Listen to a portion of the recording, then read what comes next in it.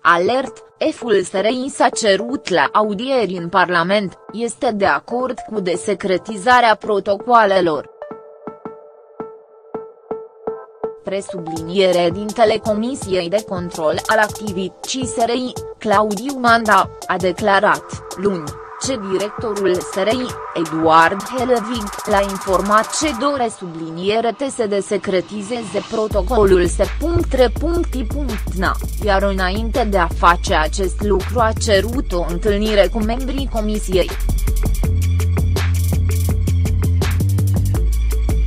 Am avut astăzi o discuție cu directorul SRI, domnul Eduard Helvig, domnia sa m-a sunat sublinierei mi-a spus ce în sublinierei exprim toată disponibilitatea ca, în perioada imediat următoare, se purcead la desecretizarea acelui protocol dintre SRI sublinierei parchetul de la lângă în alta curte de casacie sublinierei justicie.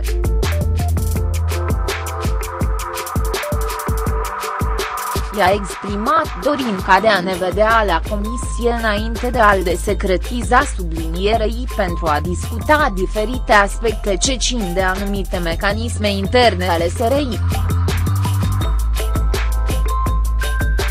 Sunt elemente pe care dorim să le discutăm sublinierei după aceea din partea SRI există toată această disponibilitate, a declarat Claudiu Manda. Întrebat când ar putea veni Eduard Helvig în fața Comisiei SRI, Manda a afirmat, cred că cel mai devreme ar putea să fie vineri, probabil cel mai târziu marci, având în vedere ce luni este, din câte subliniere tiu, ziua de bilanț al SRI. Manda a spus și a mai purtat discuții cu directorul SRI referitor la aceste protocoale. Am mai avut discuții despre acest subiect.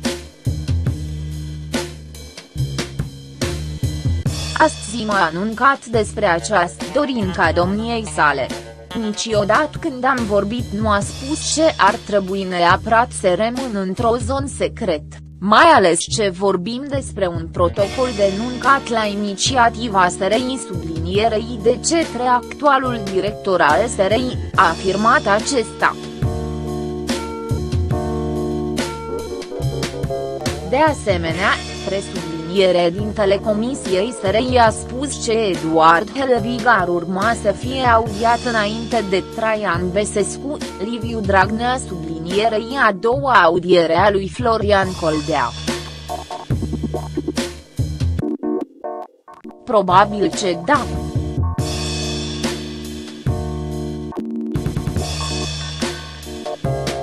Având în vedere ce a fost această discuție cu domnia sa, e clar ce sublinierei noi intenționăm să ne vedem